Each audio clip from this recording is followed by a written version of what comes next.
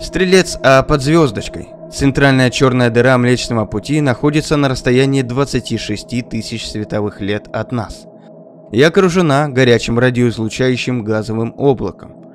Считается, что ее масса составляет 4,3 миллиона массы Солнца, а радиус не более 45 астрономических единиц. В отличие от многих сверхмассивных черных дыр, Стрелец А под звездочкой находится в своеобразной спячке и не поглощает материю.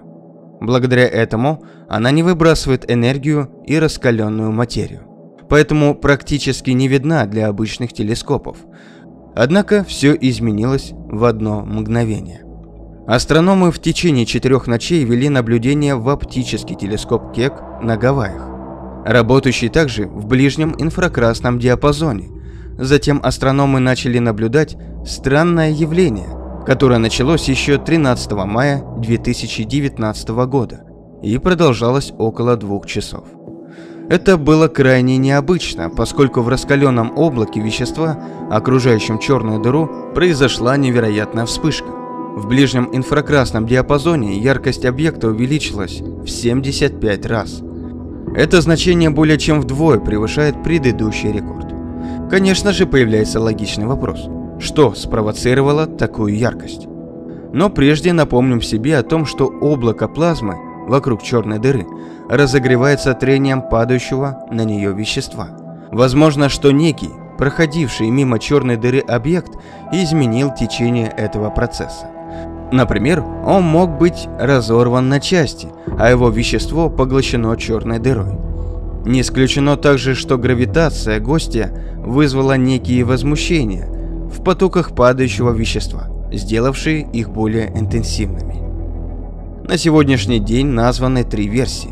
Во-первых, это газовое облако G2. В 2014 году оно подошло к черной дыре на расстоянии всего 36 световых часов.